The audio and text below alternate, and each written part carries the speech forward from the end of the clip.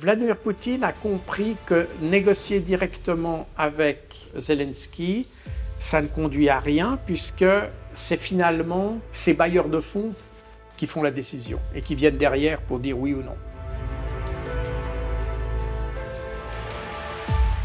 Jacques Beau, bonjour. Bonjour. Vous êtes ancien membre du renseignement stratégique suisse, vous êtes spécialiste des pays de l'Est et ancien chef de la doctrine des opérations de la paix des Nations Unies. Vous avez négocié avec les plus hauts responsables militaires et de renseignement de l'État russe juste après la chute de l'URSS. Vous avez aussi travaillé au sein de l'OTAN pour des programmes en Ukraine et notamment lors de la révolution de Maïdan en 2014. Vous avez publié le 17 janvier dernier un quatrième livre sur la guerre en Ukraine intitulé L'art de la guerre russe, comment l'Occident a conduit l'Ukraine à l'échec aux éditions Maximino. Et vous avez regardé attentivement l'interview vidéo de Vladimir Poutine par Tucker Carlson sur X. Quelle est votre impression générale de cette interview? Eh bien, euh, la première impression euh, sans, parler du contenu, tout d'abord, ça a été le contexte dans lequel cette, euh, cette interview est, parue, parce qu'elle est parue pratiquement le même jour où on avait aux États-Unis la publication d'un rapport sur la santé mentale de Joe Biden. On a vu pratiquement simultanément les euh, deux chefs de grands États qui déterminent les géopolitiques mondiales, ce pas les seuls, mais enfin en tout cas ceux-ci, dans une lumière totalement euh, diamétralement opposés. D'un côté, un Joe Biden dont beaucoup euh, se préoccupent de sa capacité à conduire les États-Unis, et puis de l'autre, un Vladimir Poutine qui apparaissait sûr de lui, qui est apparu euh, finalement extrêmement, comment dire, réfléchi, posé, et c'est d'ailleurs ce qui a causé la, méfiance ou l'animosité qu'on a vue dans nos médias à propos de cette, interview. Et ça, c'est le deuxième aspect d'ailleurs qui est intéressant. C'est la panique, pourrait-on dire, que l'interview a causé dans nos médias. Et qui s'est traduit d'ailleurs, parce que j'ai suivi attentivement ce qui avait été euh, dit sur cette émission, sur cette euh, interview, de part et d'autre, donc les pro-russes ou les euh, anti-russes, disons ça comme ça. Et je constate que personne n'a discuté le contenu de l'interview et tout le monde a discuté les personnes.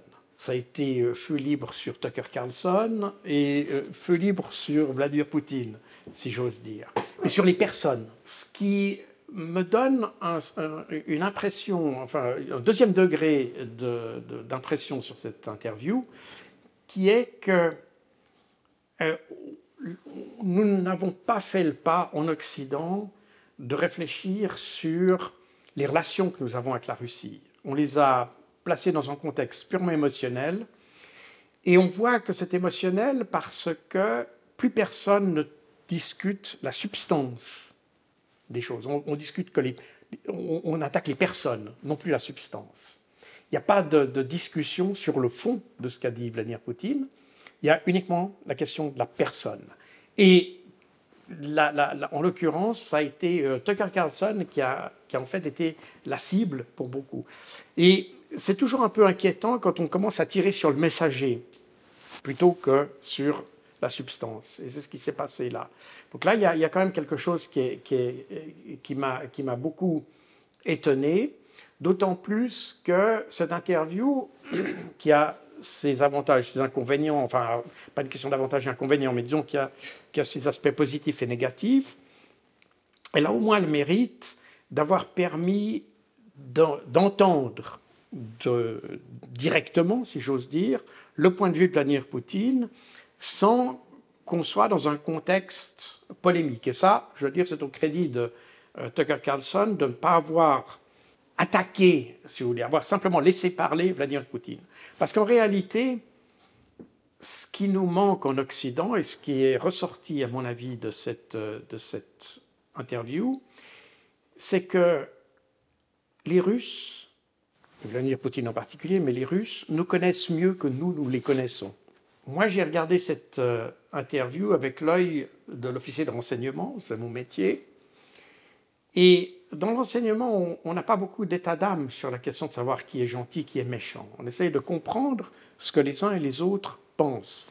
Là, cette, interview, ben, c'est un des éléments, parce qu'il n'y a pas grand-chose de nouveau dans cette interview, en réalité, donc ça a confirmé un certain nombre de choses, mais ça permet de figer, si on peut dire ça comme ça, la manière dont pensent les dirigeants russes, ou en tout cas le dirigeant russe, et de comprendre aussi comment nous avons mal interprété les choses. Et je pense que la politique, c'est pas de faire d'interpréter ou d'essayer d'avoir une autre image de, de l'adversaire, mais d'avoir l'image exacte de l'adversaire. Et on s'aperçoit d'ailleurs très bien, cette interview, elle arrive au moment d'ailleurs où euh, euh, les chiffres de la, croissance euh, russe arrivent, où on parle de 3,6% de croissance du, PIB. et, on s'aperçoit que cette Russie, sur laquelle on avait appliqué tellement de sanctions, a en fait le plus fort taux de croissance des pays du G7.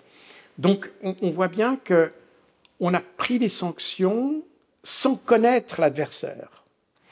Et c'est ça qui est, le plus inquiétant, à vrai dire. Donc, tout ce que révèle pour moi cette interview, c'est pas tellement ce qu'a dit l'un ou l'autre, mais c'est que ça a révélé que nous connaissons mal la Russie et que ceux qui sont pour, et c'est valable d'ailleurs dans les deux camps, à la fois pour ceux qui sont pour et ceux qui sont contre.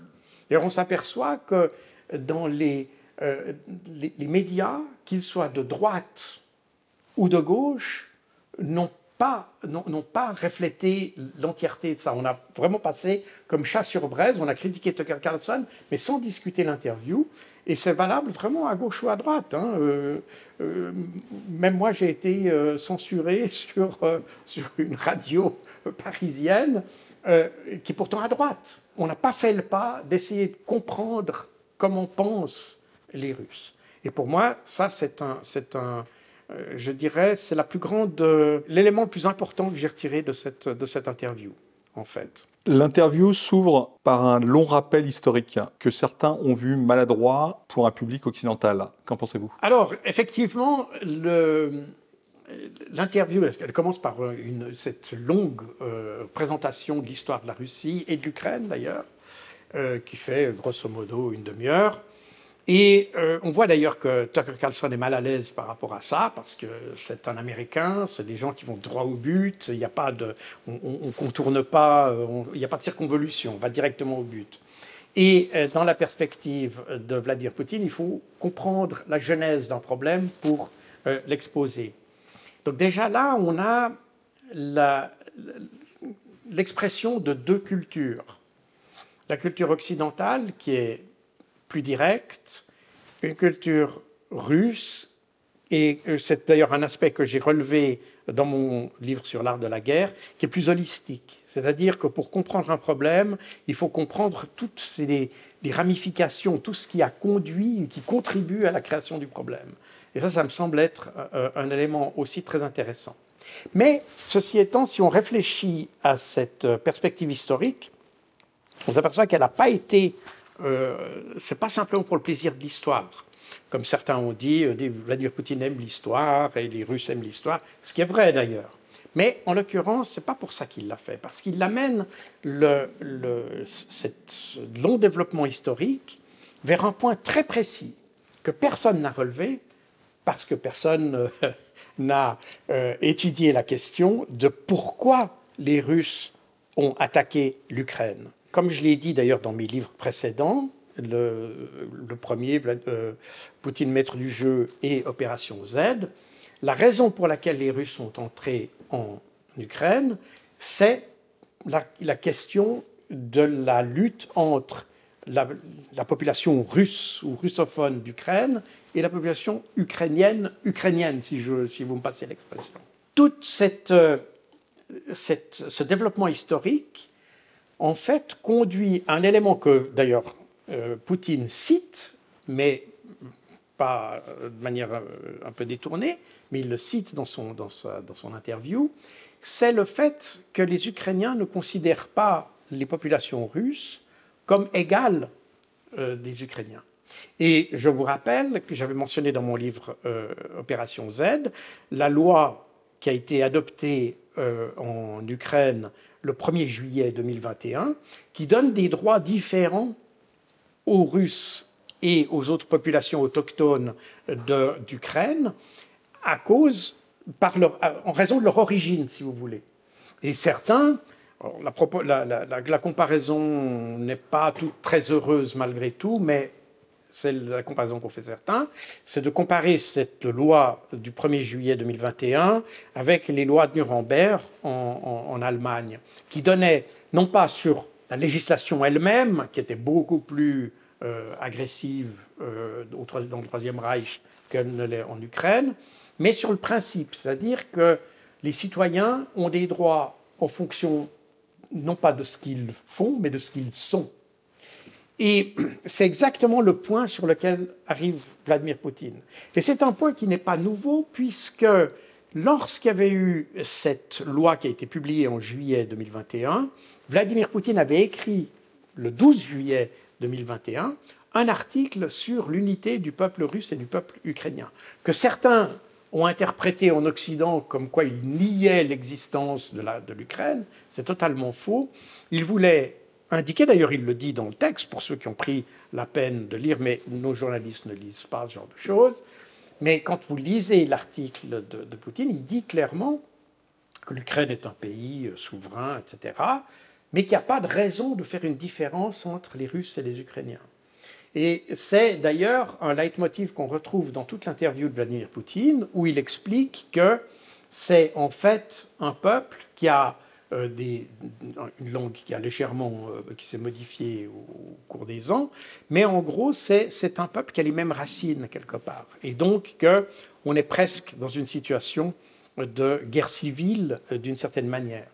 C'est pour défendre les droits des populations russes qu'il est intervenu. Et donc ça, c'est un élément intéressant parce que ça confirme d'ailleurs, enfin ça confirme, on le savait déjà à vrai dire, que il y avait cette idée qui a beaucoup touché les Russes déjà en 2014, c'est-à-dire cette différence que tout d'un coup, le nouveau gouvernement euh, ukrainien, qui n'était pas, encore élu à l'époque, en février 2014, avait fait quand il avait voulu faire une séparation entre les russophones et les ukrainophones, en dégradant le statut de la langue russe euh, à l'époque et qui était passé du statut de langue officielle à statut de langue euh, euh, normal, si vous voulez. Vladimir Poutine revient sur la genèse du conflit et Tucker Carlson le relance sur la question de la dénazification. Y a-t-il vraiment quelque chose de nouveau qui ressort de cette interview? Alors, Il y a un ou deux petits détails nouveaux qui, qui apparaissent. Parce que cette question de dénazification, elle a évidemment beaucoup perturbé les Occidentaux, parce qu'on a dit non, l'Ukraine est un pays démocratique, c'est comme on les soutient, évidemment, ils peuvent qu'être démocratiques, et la question de dénazification ne se pose pas. Or, ce qu'a révélé, et ça c'est nouveau, ce qu'a révélé euh, Vladimir Poutine dans cette interview, c'est que dans la proposition que Zelensky, vous rappelez qu'en mars, à la mi-mars 2022, Volodymyr Zelensky a voulu trouver une solution politique au conflit. Et donc, il a fait une proposition qu'il a composée lui-même, enfin, lui et son équipe, bien sûr, qu'il a composée et qu'il a donnée aux Russes. Et dans cette proposition, il y avait le projet de dénazifier la conduite de Kiev. Ça, c'est intéressant parce que ça prouve que les Ukrainiens, et en l'occurrence Volodymyr Zelensky, étaient conscients de ce problème-là. Et donc, c'est un problème qui existe. Et ça, ça me semble être un des éléments les plus intéressants de cette interview. Alors, ceci étant, il y a d'autres éléments intéressants qui sont relativement nouveaux dans cette interview. Et le deuxième élément nouveau, on savait que, après la proposition de Zelensky, qui avait été euh, signé d'ailleurs par la délégation euh, ukrainienne à Istanbul et présenté aux Russes, que Sergei Lavrov avait dit qu'il était intéressé par cette proposition, qu'on pouvait travailler sur cette base-là et les Russes étaient partants sur la base de la proposition de Zelensky. Les Russes ont retiré leurs troupes qui étaient à l'époque autour de Kiev. Ce retrait, il a été jusqu'à présent, les Russes avaient été assez évasifs sur les raisons pour lesquelles ils l'avaient fait. On sait pourquoi ils étaient là, c'était pour attirer les réserves, pour empêcher que les réserves de l'armée ukrainienne aillent dans le Donbass, donc pour les retenir près de Kiev, donc ça on le sait. Mais la raison pour laquelle ils avaient retiré était plus opaque d'une certaine manière. Et l'explication euh, russes avait été jusqu'à présent qu'ils avaient voulu faire un geste de bonne volonté à l'égard de Kiev. Mais ce qui est de nouveau dans cette interview, c'est qu'il nous explique que ce geste de bonne volonté, c'est pas simplement fait à la demande de Kiev, mais c'est fait également à la demande de l'Allemagne et de la France. Et ça, c'est un élément nouveau, parce que ça veut dire que dans la préparation de la proposition de Zelensky et dans la manière, enfin, de la, présentation de cette proposition, les pays occidentaux, notamment la France et l'Allemagne, étaient impliqués là-dedans.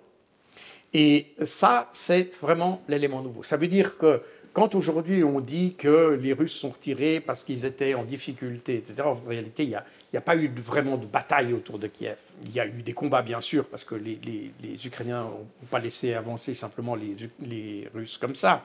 Mais il n'y a pas eu de bataille. On n'a pas eu de Bakhmut, on n'a pas eu ce genre de choses. Ce n'est pas du tout ce qui s'est passé. Et l'explication, là, de, de, Vladimir Poutine donne un éclairage un peu nouveau, montre que les Occidentaux savaient très bien pourquoi les Russes se sont retirés de Kiev. Mais ça indique aussi une autre chose et, d'ailleurs, Poutine l'indique dans cette interview. Il dit, à peine on s'est retiré de Kiev, que les Occidentaux ont demandé à Zelensky de retirer sa proposition et on a, euh, on a acheté ça à la poubelle.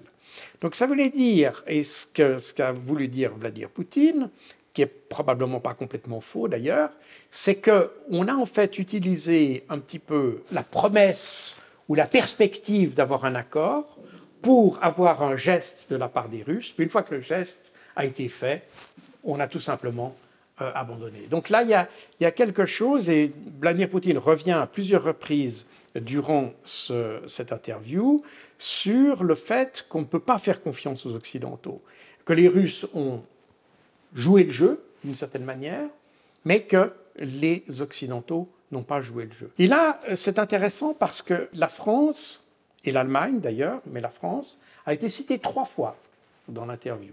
Et c'est intéressant d'ailleurs qu'aucun média occidental n'a relevé ça. Était relevé trois fois. La première fois, c'est lorsque la France et l'Allemagne ont été les garants de l'accord qui a eu lieu entre le gouvernement de Yanukovych et les euh, manifestants de Maïdan.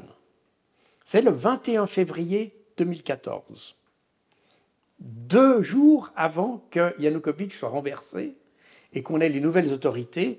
Je rappelle que la loi qui euh, change le statut de la langue euh, russe a été faite le 23 février, donc deux jours plus tard. Donc les Occidentaux ont été garants d'un accord qui s'était fait entre les manifestants de Maïdan et Yanukovych pour qu'il y ait une, euh, une passation de pouvoir, que Yanukovych se retire, qu'il y ait des élections, etc. Or, les Ukrainiens n'ont pas respecté cet accord. Les Occidentaux, qui étaient garants de cet accord, ne l'ont pas fait respecter chez les Ukrainiens. Donc, une fois de plus, là, la France a failli à sa parole, comme l'Allemagne d'ailleurs, parce qu'elle était garante au même titre d'ailleurs que la Pologne, et, euh, donc la, la Pologne, l'Allemagne et la France. Et ces trois pays ont failli à leur parole. Le deuxième exemple que mentionne euh, Vladimir Poutine, c'est évidemment les accords de Minsk qui ont eu lieu, qui étaient de nouveau garantis par la France et l'Allemagne, que la France et l'Allemagne n'ont jamais fait respecter à l'Ukraine. Et donc là aussi, la France a failli à sa parole. Et puis, euh, finalement, cet accord euh, qui était en devenir euh, en mars 2022, où la France et l'Allemagne avaient demandé à la Russie de faire ce geste et n'ont pas respecté cette espèce de gentleman's agreement qui avait été fait. On voit, et d'ailleurs, on peut le comprendre quelque part, une certaine amertume de la part de Vladimir Poutine euh, sur ces promesses non tenues. Et d'ailleurs, il dit, c'est intéressant parce qu'il passe en, revue les, les, différents contacts qu'il a eus avec les dirigeants européens, et enfin pas seulement européens, occidentaux, puisqu'il dit qu'il a eu très bons contacts avec euh, les, les Américains, les présidents américains, etc., qui lui ont promis un tas de choses mais qu'ils n'ont jamais eu les moyens de réaliser ce qu'ils avaient promis. Et il a dit, on a, eu des assurances de, de, Trump, d'Obama, etc. Et puis finalement, ça ne s'est jamais réalisé. Et il en tire la conclusion, alors, là, on peut discuter euh, de savoir si c'est juste ou faux, mais il y a quand même des questions à se poser. C'est que les présidents font des promesses, disent qu'ils vont faire quelque chose, mais quelque part, le système ne leur permet pas de les mettre en œuvre. Et ça, c'est quelque chose qui est assez euh, intéressant, qu'on voit d'ailleurs aujourd'hui euh, aussi à propos de l'Ukraine, parce qu'on s'aperçoit qu'aujourd'hui, la, situation en Ukraine a un peu dépassé ce que les, ce que les Occidentaux voulaient. Et on, on, se trouve maintenant dans des situations où les Américains, pour faire passer euh, des, des, des, des, fournitures d'armes, doivent contourner le Congrès en utilisant des lois ou des, systèmes euh, extra-parlementaires, si vous voulez, pour, pour, pour arriver à, leur fin. Donc ça veut dire que euh, indirectement, et je pense que c'est un, problème que vous avez aussi en France, c'est qu'on a des systèmes démocratiques qui ont été construits de manière très intelligente, mais qui, arrivent, aujourd'hui dans des situations tellement complexes que le système n'est plus adapté aux, aux situations qu'il doit traiter. Et on a des systèmes qui deviennent dysfonctionnel d'une certaine manière.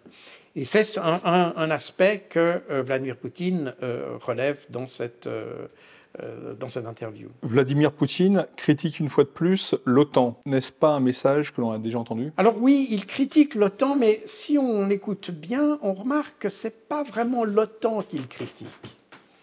Il critique plutôt la politique américaine d'utiliser l'OTAN. et c'est d'ailleurs quelque chose que j'avais indiqué dans mes livres le problème pour les Russes n'est pas l'OTAN. Le problème, c'est l'usage qu'en font les Américains pour euh, déployer ce qui, fait peur aux Russes.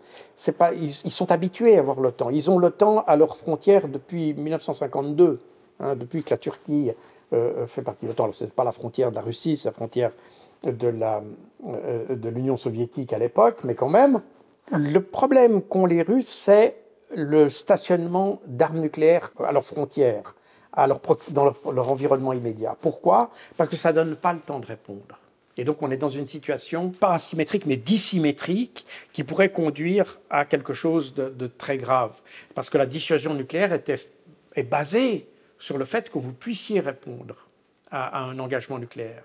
C'est pour ça que le traité ABM euh, dont d'ailleurs les Américains sont retirés en 2002.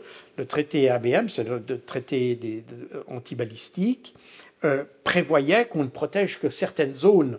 Je me rappelle qu'à l'époque, tout le monde s'étonnait beaucoup pourquoi on ne protège pas euh, la population, on protège que les capitales dans le traité ABM. Et la, réponse, c'est qu'il faut garder une, une vulnérabilité et une capacité de réponse de façon à ce qu'on puisse continuer à négocier même dans le cas d'un échange nucléaire. Ça, c'est lié à la, la, puissance de l'atome qui fait qu'on on peut très vite arriver à une destruction totale.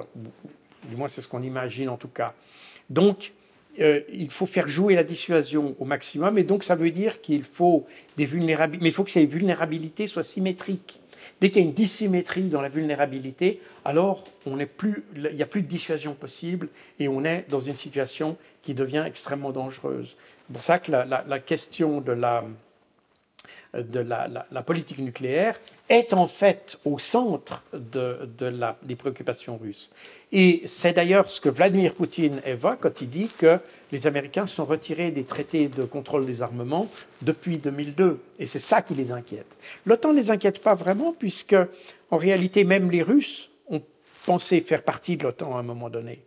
Ils pensaient faire partie de l'OTAN parce qu'ils pensaient que l'OTAN, et je pense que c'était une, vision qui était qui était loin d'être fausse d'une certaine manière, c'est-à-dire que la sécurité, à partir du début des années 90, devait plus être basée sur la confrontation, puisque les deux blocs, enfin il y avait un des deux blocs qui avait disparu, donc il n'y avait plus de raison d'avoir une confrontation, mais on devait avoir une sécurité par la coopération. Et c'est intéressant parce que ça rappelle quand on parle de sécurité par la coopération, ben on voit l'idée de l'Organisation pour la coopération et la sécurité en Europe, l'OSCE, qui avait été, durant la guerre froide, début des années 70, qui avait déjà été une initiative soviétique à l'époque. Les soviétiques Et on sait aujourd'hui, par des rapports, d'ailleurs la, CIA a fait des rapports là-dessus, on sait aujourd'hui que les Russes, les Soviétiques plus exactement, n'avaient pas l'intention de nous envahir. Ils l'ont sans doute eu au tout début, euh, dans les années 40, euh, sous, sous Staline, c'est probable. Mais plus tard, ils ont compris que c'était dans l'intérêt de personne d'essayer d'avoir une confrontation ouverte entre les deux blocs et qu'il fallait trouver des moyens de coopérer. Et euh, ce sont les soviétiques, qui, à l'initiative des soviétiques, qui a été créée la conférence sur la coopération et la sécurité en Europe, qui est devenue l'Organisation pour la coopération et la sécurité en Europe, et qui est dans, cette droite ligne d'une sécurité par la coopération. Et c'est effectivement ce que les Russes avaient en tête au début des années 90 pour l'OTAN. Parce que tout le monde, et, je me rappelle parce que on a été, euh, a directement été euh, questionné par ce problème-là dans les milieux euh, du renseignement au moment où le, pacte de Varsovie s'est effondré. Qu'allait devenir l'OTAN? Parce qu'il n'y avait, plus, vraiment d'ennemis, du coup, pour l'OTAN. Et donc, l'architecture de la sécurité européenne, qui était fondée sur l'antagonisme des deux blocs, prenait une autre dimension. Et il y a eu des modèles de réflexion, de savoir si effectivement on ne pouvait pas avoir, et d'ailleurs c'est un petit peu dans cet esprit-là qu'a été créé le partenariat pour la paix, qui est ce qu'on a souvent traité d'antichambre euh, de l'OTAN, qui, euh, pour certains, aurait pu remplacer l'OTAN d'une certaine manière, c'est-à-dire euh, d'avoir une, une, structure qui, est, qui favorise la coopération et dans laquelle tout le monde coopère avec tout le monde il a plus, on n'est plus dans, des, dans un modèle euh, d'affrontement idéologique, si vous voulez, puisque le bloc avait disparu, le bloc communiste avait disparu. Mais ça ne s'est pas fait comme ça.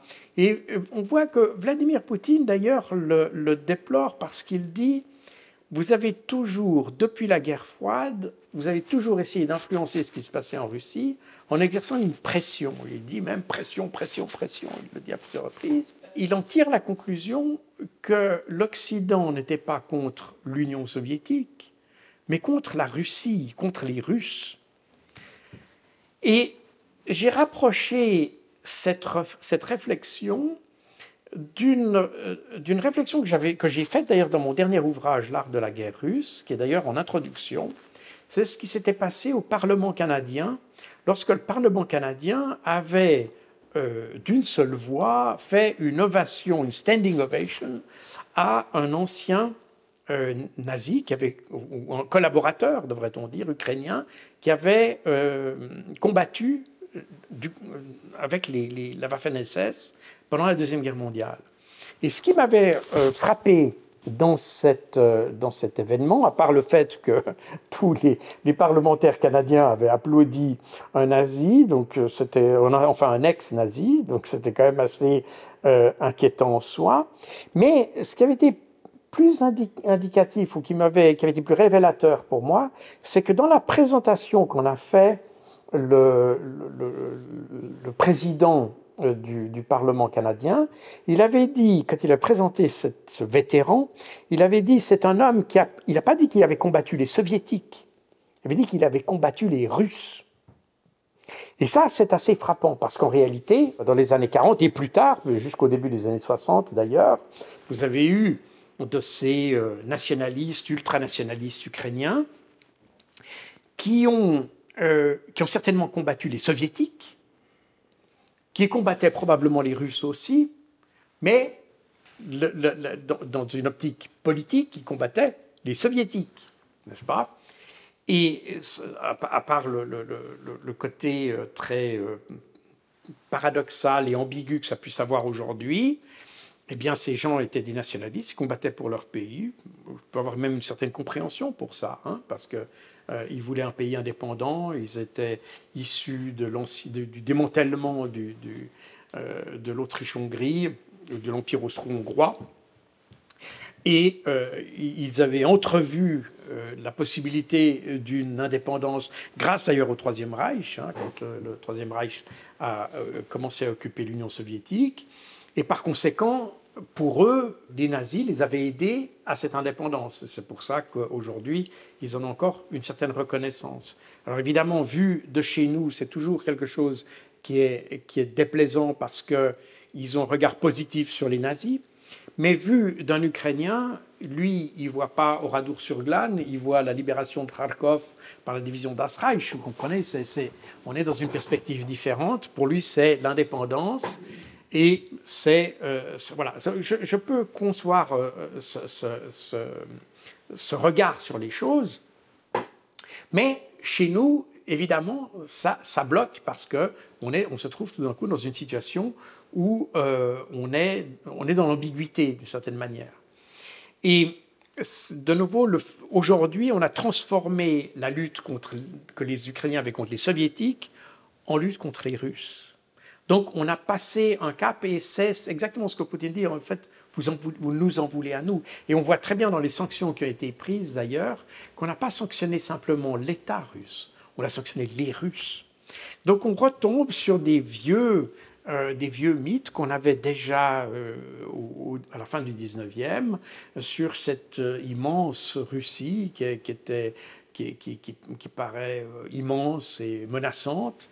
Et puis on a gardé en fait ces vieux fantasmes. On a gardé les vieux fantasmes qu'avait, qu'ont décrit Adolf Hitler dans Mein Kampf. Nous avons exactement gardé le même, la même esprit. On n'a pas évolué.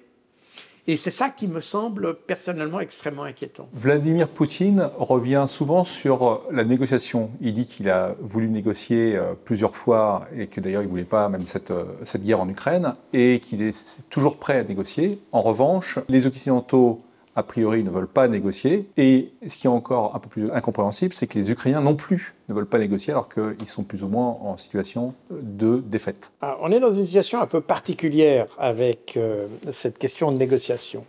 Donc tout d'abord, la position de la Russie a toujours été de privilégier la négociation. Et je rappelle que la situation dans le Donbass, qui a été le déclencheur de l'intervention russe, c'est ça le déclencheur. C'est pas autre chose. Les Russes vont utiliser ça, leur éventuel succès ou leur éventuelle victoire. On verra comment tout ça se définit et comment on l'appelle. Ils utiliseront ça pour obtenir des choses en plus qu'ils n'auraient pas pu obtenir par la négociation, ou plus difficilement, ou plus avec plus de temps. Mais les, Russes ont toujours été, euh, ont toujours eu la négociation en ligne de mire pour les problèmes. Et c'était le cas pour le Donbass, qui était en principe, qui devait être solutionné par les accords de Minsk.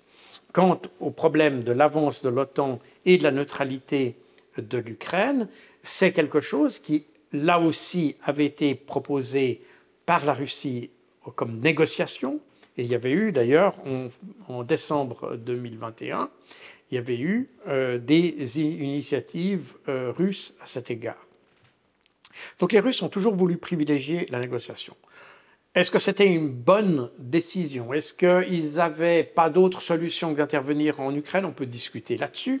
Mais pour eux, ils se sont, sentis, obligés de le faire. La question est qu'ensuite, ils ont tout de suite été euh, euh, disposés à négocier. Déjà le 25 février, c'est-à-dire le lendemain du début de l'opération russe, le gouvernement ukrainien, c'est-à-dire Volodymyr Zelensky, a téléphoné au ministère des Affaires étrangères suisse pour organiser une conférence de paix, déjà le lendemain.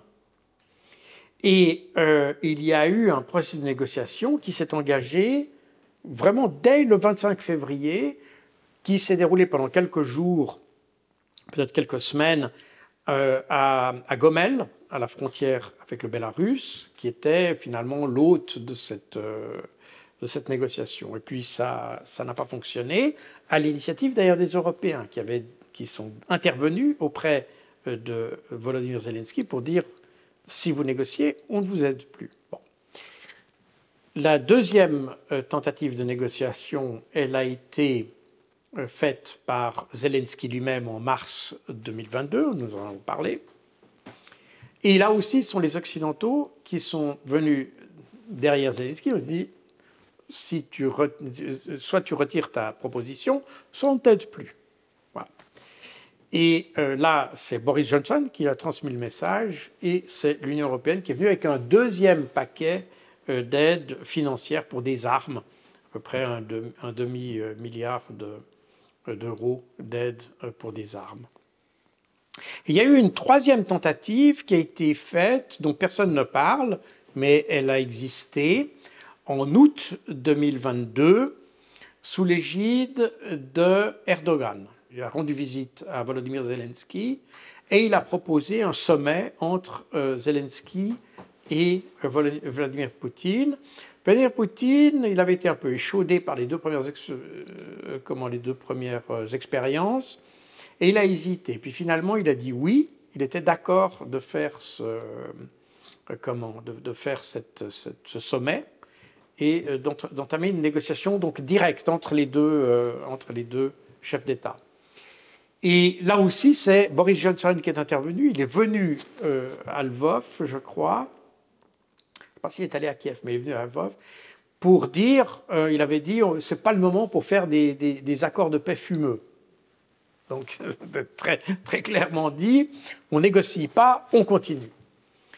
Et donc, euh, quand on met tout ça bout à bout avec euh, les constatations de Vladimir Poutine sur euh, la, confiance qu'on pouvait faire aux Occidentaux, qui finalement négociaient uniquement pour leur avantage, mais, dès que une partie du contrat était remplie, ils abandonnaient de tout, Poutine a dit ce n'est pas des partenaires fiables.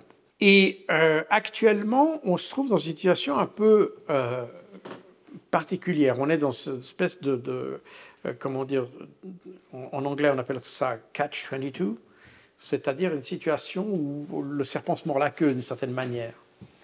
Pourquoi? Parce que Vladimir Poutine a compris que négocier directement avec Zelensky, ça ne conduit à rien, puisque c'est finalement ces bailleurs de fonds qui font la décision et qui viennent derrière pour dire oui ou non. Donc ça veut dire qu'il faut négocier avec les, bailleurs de fonds, en réalité. les bailleurs de fonds, pour Poutine, ça n'est pas l'Europe. Parce que manifestement, l'Europe fait ce que les États-Unis disent, mais n'a pas d'autonomie d'une certaine manière pour, euh, sur ce conflit. Elle a l'autonomie pour aider l'Ukraine, mais pas pour stopper le conflit. Ceux qui sont les, marionnettistes et euh, le bon Dieu, si vous voulez, c'est euh, Washington. C'est la Maison-Blanche. Et c'est donc avec les Américains qu'il faudrait négocier. Le problème, c'est que les Américains, aujourd'hui, en période électorale, se sentent mal placés pour négocier. Et ils préféreraient, et ils essayent de pousser d'ailleurs, les Américains essayent de pousser Zelensky depuis la fin 2022 d'ailleurs. Donc ce n'est pas nouveau, on est, ça fait maintenant une année et demie à peu près que les Américains comprennent que la partie est perdue pour l'Ukraine et que c'est l'Ukraine qui devrait négocier avec, euh, avec Vladimir Poutine. Mais en Ukraine, il y a le problème, c'est que je ne pense pas que Vladimir Zelensky soit totalement euh, maître des décisions qu'il prend et que il y a des, forces qui l'empêchent, surtout pour une négociation. Les forces nationalistes ne lui pardonneront pas ça. Et ça explique d'ailleurs en partie pourquoi on a eu cette valse hésitation euh, ces dernières semaines euh, à propos du général Zaloujny. Parce que Zaloujny est soutenu par l'armée, bien sûr, mais aussi probablement par des gens très à droite. Et donc, euh, et, Zelensky, d'un autre côté, il voit que euh, ça peut devenir un adversaire politique dans des élections, donc il a essayé de l'écarter pour des raisons peut-être plus politiques que militaires, en réalité.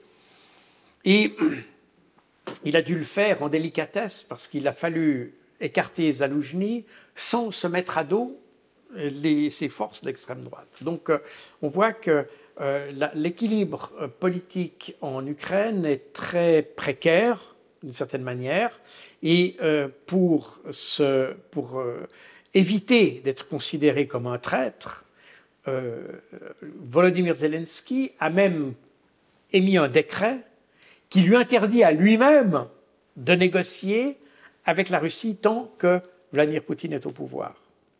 Donc Zelensky s'est interdit lui-même de, négocier. Donc on est vraiment dans une situation de, sans solution, puisque les Américains voudraient que ce soit les Ukrainiens qui négocient, que Zelensky s'est interdit lui-même de négocier, et puis que les Russes voient bien que ça ne sert à rien de discuter avec Zelensky, parce qu'il ne faut pas discuter avec les, saints, il faut discuter avec le bon Dieu, et le bon Dieu, c'est euh, le président américain. Donc voilà un petit peu où on en est. Maintenant, du point de vue russe, c'est intéressant que euh, euh, Vladimir Poutine soit revenu plusieurs fois sur cette question de négociation. Parce que comme je l'ai dit, ça a toujours été une position du gouvernement russe d'être prêt à négocier. Et et ils l'ont fait d'ailleurs. si la, négociation de mars 2022 avait abouti, les Russes se seraient retirés d'Ukraine. Donc on, serait dans une situation nettement plus favorable que ce qui pourrait se négocier aujourd'hui s'il devait y avoir négociation. Mais bref. On a relevé à plusieurs reprises, et, et je l'avais d'ailleurs évoqué dans mes deux livres, dans mes livres précédents, que la population russe est elle aussi favorable à la négociation. Alors, nos médias ont, traduit ça par le fait que la population russe était opposée à Poutine parce que Poutine voulait la guerre, et la population russe voulait négocier. Alors, ce n'est pas tout à fait vrai. Le soutien à l'opération euh, militaire spéciale, c'est comme ça qu'on l'appelle en Russie, il est très grand aux États-Unis, euh, en, Russie. Il est très grand. La population soutient massivement. Environ 75% de la population, grosso modo, je n'ai pas les derniers chiffres, mais grosso modo, c'est ce chiffre-là qu'on a depuis euh, février 2022 c'est 75% de la population soutient l'opération spéciale. Mais d'un autre côté, vous avez également cette même population qui, à environ 57%, de nouveau, je n'ai pas les derniers chiffres, mais on est entre 50 et 60% des gens, soutiendraient une négociation. Donc on a exactement, on a la même position de la population et de Vladimir Poutine. Ce qui est intéressant dans cette interview, que les Russes auront certainement vu, c'est qu'ils constatent que eux, la population, sont prêts à négocier, que le gouvernement russe est aussi prêt à négocier, mais que l'impossibilité vient du côté occidental. Et donc, d'une certaine manière, cette interview, elle conforte la position de Vladimir Poutine dans cette affaire. Il se trouve presque renforcé. Je ne pense pas que c'était le but de Tucker Carlson, mais le résultat étant ce qu'il est, euh, je pense que de ce point de vue-là, les, Russes sont aperçus qu'effectivement, ils ont un gouvernement qui essaye de négocier, mais qui a une impossibilité, à la fois institutionnelle et politique, du côté occidental, à entamer un processus de négociation. Et là, on est effectivement dans. On ne peut pas écarter le fait que Poutine est un joueur d'échecs à certains égards, et ça se voit assez bien dans, ce, dans cette manière de faire. Je ne suis pas sûr que Tucker Carlson ait eu la maîtrise totale de cette interview, euh, la maîtrise intellectuelle. c'est bien lui qui a posé les questions et tout ça. Mais je ne suis pas sûr qu'il a vu venir les problèmes. Parce que c'est un homme intelligent à part ça, mais probablement moins fin que Vladimir Poutine. Et on voit très bien d'ailleurs que lui-même, quand il pose ses questions, on voit qu'il connaît mal le dossier en réalité, ou du moins il le, connaît mais à l'occidental, c'est-à-dire il ne connaît que la surface des choses, il a de la peine à comprendre la manière dont pensent les Russes, et donc ces questions sont des questions posées par un Américain, vues par un Américain, comme le poserait un Américain. Et s'il avait été bon stratège, il aurait posé ces questions comme l'aurait fait un Russe. N'est-ce pas? C'est là où l'image qu'on a et que nous donnent les médias de la Russie fausse, notre approche. Et je reviens sur l'exemple de des sanctions, qui est d'ailleurs aussi évoqué par Vladimir Poutine, mais euh, la manière dont on a traité la Russie, qui se trouve aujourd'hui renforcée, vient simplement du fait qu'on n'a pas voulu comprendre ce qu'ils sont. On a vraiment considéré que c'était des, quantités négligeables. On est parti de nos préjugés sans comprendre la réalité. Aujourd'hui, on se trouve confronté à simplement la réalité des faits.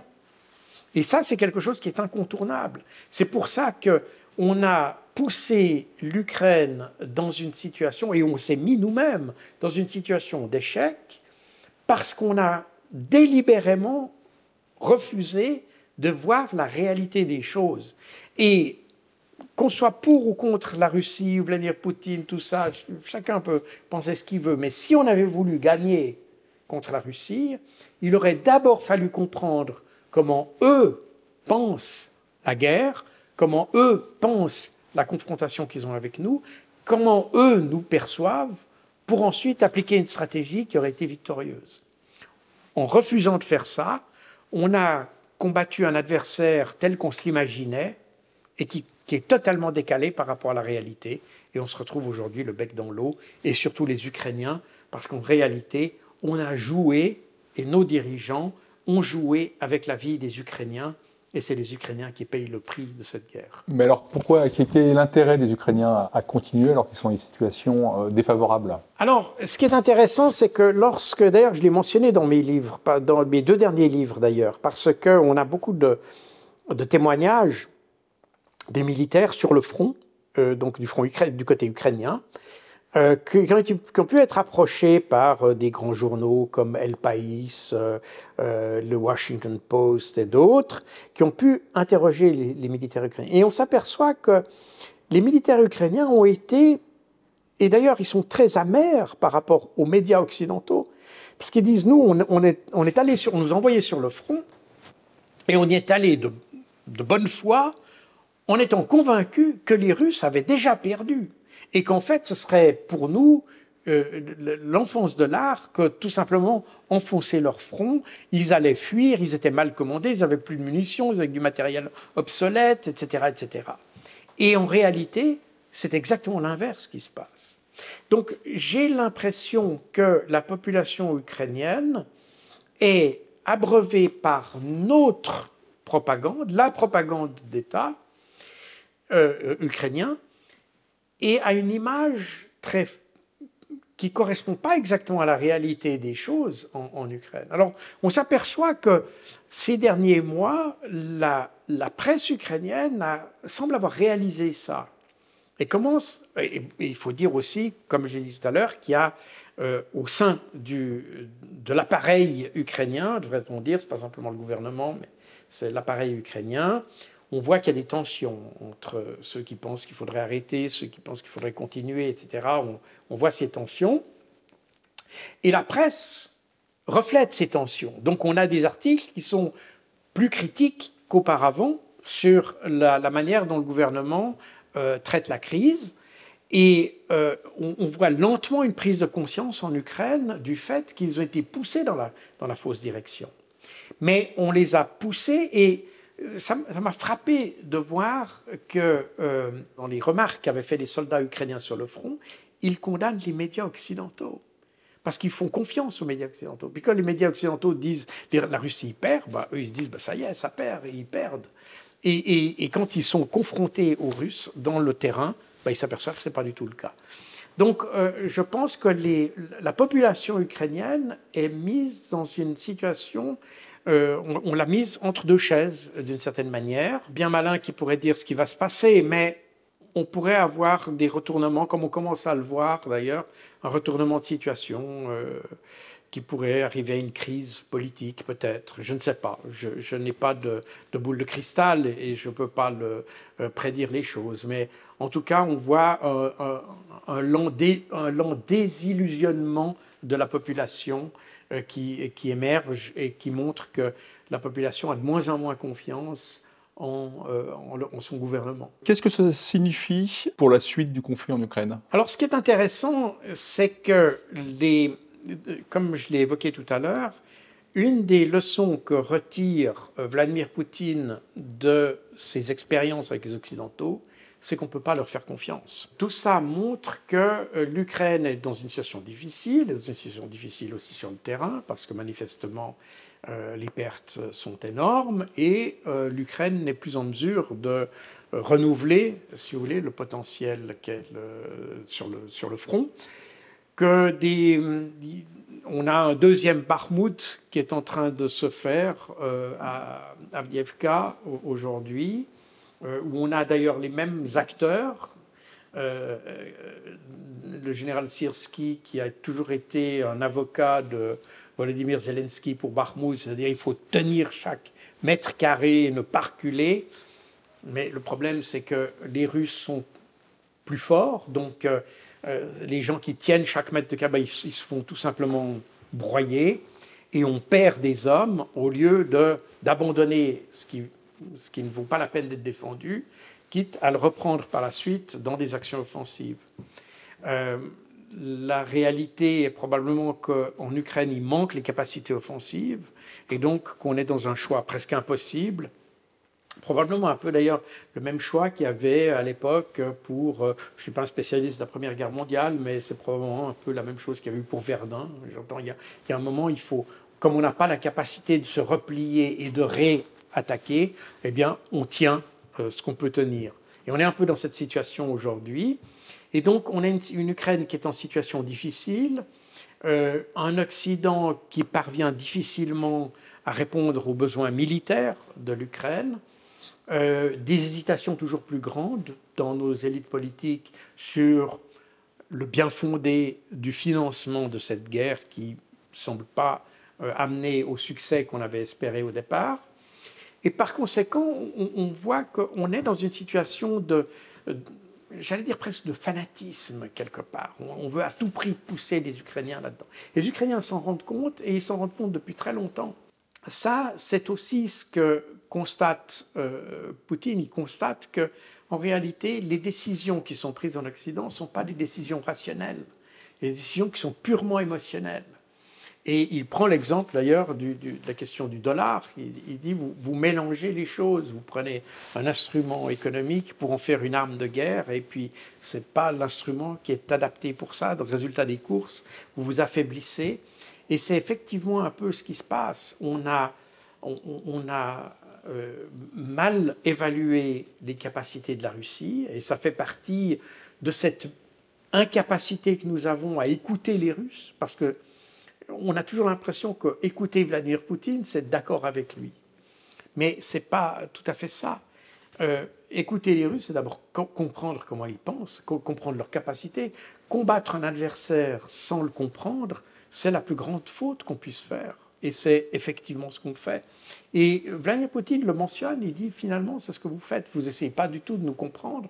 Vous vous battez contre un adversaire. Parce que, et d'ailleurs, il dit, dans, vous, avez, vous répétez ce que vous avez toujours fait dans l'histoire, sans vous poser la question de la situation nouvelle dans laquelle on est et qui montre que, en fait, tous vos efforts ne vous amèneront pas au but que vous cherchez à atteindre. Pensez-vous aussi que Tucker Carlson s'est fait le porte-parole de Poutine? Alors ça, c'est une question intéressante parce que euh, aujourd'hui, dans ce genre de choses, de nouveau, on tire sur le messager plutôt que d'essayer de combattre ou de, de, travailler sur la substance du problème. Et là, évidemment, on a dit euh, Tucker Carlson, suppôt de Poutine. Enfin, je, en réalité, je pense que Tucker Carlson n'est pas un pro-russe. C'est un pro-Trump. Il faut peut-être le voir comme ça. Et Trump n'est pas un pro-russe. Ça, c'est très important aussi de comprendre. En, Europe, on a toujours tendance, en France en particulier, c'est assez amusant de voir comment les gens réfléchissent dans ce pays. Euh, on est toujours dans, le blanc ou dans le noir. Il n'y a, jamais de zone de gris. Or, quand on regarde la politique américaine, elle est beaucoup plus dans les zones de gris en réalité. Et, elle travaille davantage dans les zones de gris. Et c'est quelquefois difficile de faire la distinction entre un démocrate de droite et un républicain de gauche. Ce que vous n'avez pas du tout en France. En France, on, a, des petites cases et les gens sont dans les cases et ils restent dans les cases. Euh, c'est très, il y a un côté très bureaucratique dans la pensée politique française quelque part. La pensée, euh, la pensée euh, politique américaine, elle n'est pas très fine, mais elle est subtile. Voilà, pour la comprendre. Et quand on parle de la Russie, il faut comprendre que même d'ailleurs aujourd'hui, à l'intérieur de l'administration Biden, vous avez deux écoles à propos de la Russie. Une école dit il faut que se rapprocher, il faut que la Russie se rapproche de l'Occident parce que l'ennemi, c'est la Chine. Et alors l'ennemi, euh, la Chine comme ennemi, ça c'est, comme on le dit aux États-Unis, bipartisan. C'est-à-dire que soit les démocrates, soit les républicains considèrent que l'ennemi principal des États-Unis, c'est la Chine, pas la Russie. La question est qu'est-ce qu'on fait avec la Russie? Et vous avez ceux qui pensent qu'il faut attirer la Russie dans notre camp pour qu'elle n'aide pas la Chine. Et puis il y a ceux qui pensent qu'il faut euh, affaiblir la Russie jusqu'à la faire éclater complètement, de façon à ce qu'elle ne puisse pas aider la Chine. Voilà. Trump est dans l'idée qu'il faudrait rapprocher la Russie de l'Occident pour combattre la Chine, alors que des gens comme Blinken, par exemple, sont dans l'idée qu'il faut détruire la Russie pour qu'elle ne puisse pas aider la Chine. Voilà. On a ces deux écoles. Et ces deux écoles, vous les trouvez à la fois chez les républicains et chez les démocrates. Et donc, quand vous regardez d'ailleurs la politique de Trump quand il était président, on lui a reproché, et ça a été d'ailleurs le cheval de bataille des démocrates, de dire qu'il était pro-russe, pro-Poutine, etc., parce qu'il fallait trouver, en fait, il fallait, il fallait trouver quelque chose contre Trump si on regarde bien ce qu'a fait Trump, et je crois que j'ai fait, j'ai fait, je pourrais me tromper, mais il me semble l'avoir fait dans un de mes livres, en tout cas je l'ai fait quelque part, j'ai fait une liste de toutes les mesures que Trump avait prises contre euh, la Russie. Et j'ai constaté qu'aucun président avant Trump avait pris autant de mesures contre la Russie que Donald Trump. C'est lui qui a pris le plus de mesures contre la Russie. Donc on ne peut pas dire qu'il soit pro-russe. Et quand on écoute bien l'interview de Tucker Carlson euh, et, de Vladimir Poutine, on s'aperçoit que Tucker Carlson, à un moment donné, essaye de, comment dire, d'introduire un, espèce de, de, coin entre la Russie et la Chine, en disant, mais finalement, vous alliez avec la Chine, mais, mais est-ce que c'est vraiment un allié? Est-ce que et Poutine explique, de toute façon, vous ne laissez pas le choix, d'une part, puisque vous ne voulez plus, donc on, va, on, se tourne vers nos autres voisins, et puis on a une frontière de 1000 km avec la Chine, donc ça c'est logique qu'on soit, euh, qu'on soit avec la Chine. D'autre part, Poutine dit, nous, chaque fois qu'on a eu, on a essayé d'avoir des relations d'égal à égal, euh, vous avez triché, euh, avec, vous n'avez pas respecté votre parole, et je reviens, on peut revenir sur ce qu'on a dit tout à l'heure à propos de la France, l'Allemagne, euh, et puis des, différentes situations où la France et l'Allemagne ont, fait trahir leurs paroles, alors que les Chinois n'ont jamais fait ça. Les Chinois nous ont toujours traités d'égal à égal. Tucker Carlson lui dit Oui, mais vous êtes un peu les vassaux de la Chine, c'est un peu ce qu'il essaye de lui faire dire. Et puis Vladimir Poutine dit Mais ce n'est pas du tout la manière, en tout cas, dont les Chinois nous parlent ils nous traitent comme des, égaux. Et aujourd'hui, on voit qu'on a des, échanges, et puis ils donnent le niveau des échanges, plus les chiffres en tête, qu'il y a entre la Chine et la, et la Russie, et ils montrent que euh, bah, ils ont tout simplement pris votre place. Et puis autrefois, on avait euh, tel niveau d'échange avec euh, les Occidentaux, vous ne le voulez plus, donc maintenant on a fait ça avec les autres. C'est aussi simple que ça.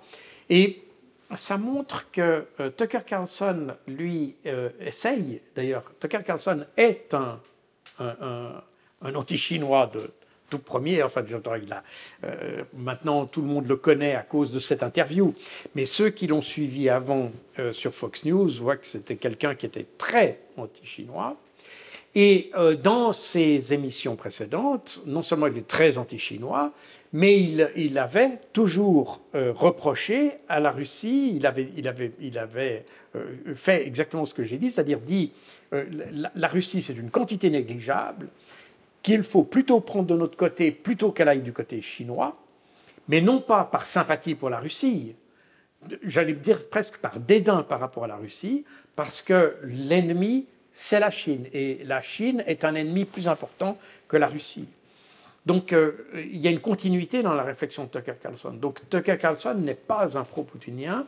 En revanche, on pourrait dire qu'il a un, peu fait la, propagande de Trump. Et je reviens à euh, euh, la, question que vous aviez posée au début, c'est-à-dire, ou plutôt la réponse que j'avais faite à votre question au début, c'est-à-dire l'impression que donnait l'interview de Poutine par rapport à ce qui se passait aux États-Unis avec Joe Biden. Et on s'aperçoit bien que euh, quand on fait la comparaison entre Poutine et Biden, eh bien, la seule solution qui, vient logiquement, c'est Trump. Et, c'est effectivement le, je pense, la, stratégie ou l'idée que quelque part Tucker Carlson avait derrière la tête, c'est de refaire, de, de, de montrer que pour affronter Poutine, il ne faut pas un Biden, il faut un Trump. Voilà. Je pense que c'est plutôt ce qu'a voulu faire euh, Tucker Carlson.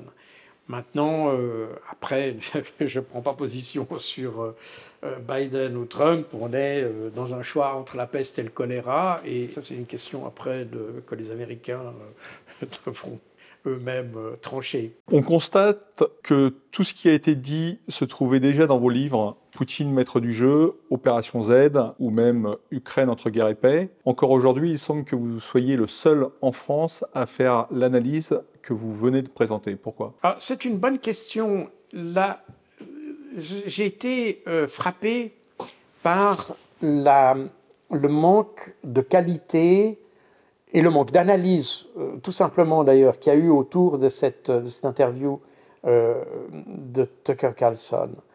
Euh, ou Vladimir Poutine par Tucker Carlson. Et ça conforte d'ailleurs un, sentiment que j'ai depuis longtemps, pas seulement à propos du conflit ukrainien, mais aussi des conflits précédents qu'il y a eu, l'Irak, etc. Et puis le conflit qui, qui d'une certaine manière a pris la relève, au moins dans les médias, c'est-à-dire celui de la Palestine, c'est qu'en en France, l'analyse se limite trop souvent, et c'est d'ailleurs, vous le voyez dans le monde politique aussi, l'analyse politique se limite très souvent à simplement conforter les préjugés.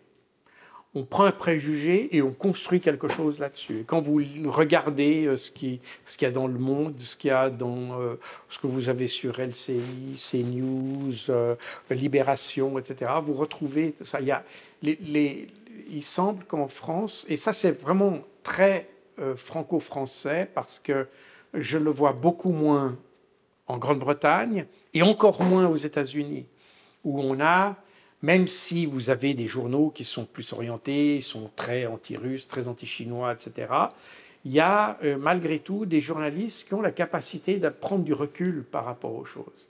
Et ça, vous ne l'avez absolument pas en, comment, en, en France. Et vous avez finalement la, politique, qu'elle soit euh, euh, à propos de la Palestine ou à propos euh, de l'Ukraine, vous avez une politique qui, est, totalement polarisée. C'est l'extrême gauche contre, contre la droite. Il n'y a plus vraiment d'extrême droite en France, d'une certaine manière. Vous, elle est toute extrême on peut dire. Il y a, euh, on, est, on est dans des, dans des, de nouveau dans le blanc-noir. Et il n'y a, plus, a plus de nuances. Et tout simplement parce qu'on essaye simplement de conforter ses préjugés. Et quand on, voit les différentes, euh, euh, les différentes analyses, d'ailleurs dans les deux sens, hein, ça va de ceux qui sont pro-russes ou ceux qui sont pro-ukrainiens, ou, ou, anti-russes, anti-ukrainiens, vous pouvez le prendre comme vous voulez, il n'y a pas d'analyse à partir de faits. On utilise les faits pour justifier ce préjugé, mais on ne construit pas sa réflexion sur la base des faits. Et ça me semble être une constante d'ailleurs de la politique française d'une manière générale. Et c'est pour ça qu'on a une politique qui est aussi euh, polarisée quelque part. Euh, alors que de nouveau, aux États-Unis, on a l'impression que ce n'est pas nécessairement les extrêmes qui, qui mènent le débat, c'est plutôt le centre qui mène le débat, euh, d'une certaine manière. Et vous allez trouver, comme j'ai dit tout à l'heure, vous, allez avoir des, des, démocrates de droite et des républicains de gauche qui vont s'associer. On n'est pas du tout dans la, la polarisation qu'on a en France. Et et ça, ça me semble être euh, un des éléments euh, importants pour la compréhension du, monde. Et on s'aperçoit qu'on a la même incompréhension du conflit ukrainien comme on l'a du conflit palestinien, ou même des conflits précédents d'ailleurs, des conflits euh, pour l'Irak, pour la, pour la Syrie, même l'Afghanistan. On voit bien que c'était une erreur d'aller dans ces pays mais il y a un côté, euh, on, est dominé par le côté anti-arabe, anti-islamique, anti-islamiste, où tout est mis d'ailleurs dans un seul paquet, tous les musulmans sont des terroristes, etc.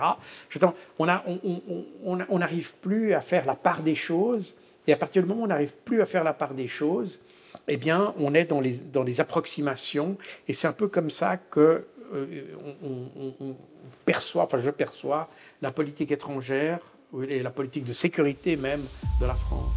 Merci Jacques Beau. Je rappelle que vous êtes l'auteur de L'art de la guerre russe, comment l'Occident a conduit l'Ukraine à l'échec, publié aux éditions Maximilien.